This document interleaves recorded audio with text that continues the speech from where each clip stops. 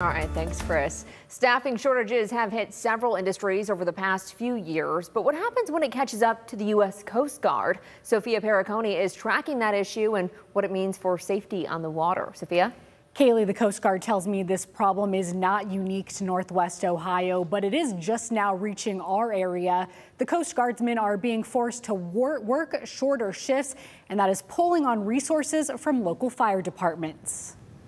Fewer first responder eyes are on Toledo's waterways this summer. The Coast Guard has been faced with uh, unprecedented personnel shortages. The Coast Guard is down about 10% of its enlisted force. Daniel McGrath is the officer in charge at Toledo's Coast Guard station. He says the shortages are across the country. Because of that, Coast Guardsmen responsible for search and rescue are being pulled from their home stations to locations that need more help. In Toledo, staff is working in Belle Isle and Marblehead. So that was determined by uh, an analysis of, of statistics over the last few years to determine whether there's overlapping coverage for search and rescue. When on shift, Coast Guardsmen typically stay on station for days, only leaving to get food. This allows them to be ready to rescue at all times, but because search and rescue efforts are being pulled away, we have a 40 hour work week.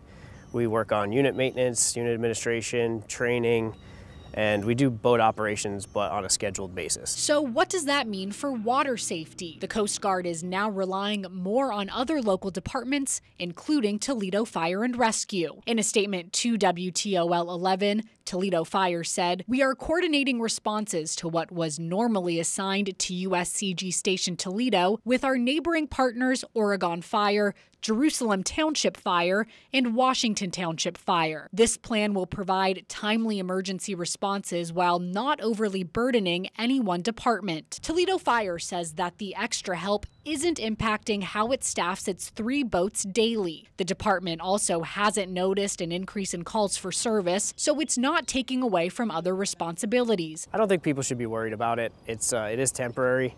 Uh, I think at some point the Coast Guard will be fully staffed again and we'll have the units be fully manned to the way they were before.